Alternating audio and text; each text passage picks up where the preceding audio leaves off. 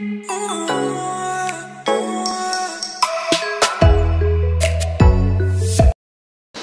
अहिले चाहिँ भने चाहिँ हामी घर जाँदैछौँ है। देखाइदिएन माछा यता। आज चाहिँ हामीले यति पक्रिन्छौँ माछा है। बेसी त पक्रिन सकेन चिसो भएर। टाइम पनि चार बजिसक्यो है।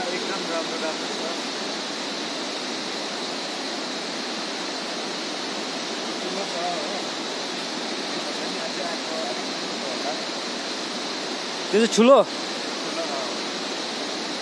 ठुलो भन्दा पनि माछा चाहिँ बेसी पक्ने तर एउटै सासको पक्रेछ है।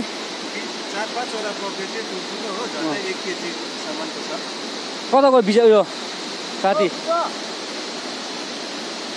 सो गाइस अहिले चाहिँ हामी अब लाग्दैछौँ है घर र जाउँ भाइ। आज चाहिँ अब भिडियो खोला आएर मात्रै बनायो है र अगाडि कन्टेन्टहरू पनि दिनु पाएन। सो आजको भिडियो चाहिँ अब यति नै थियो। के कस्तो लाग्छ है? हेरिदिनुहोस्।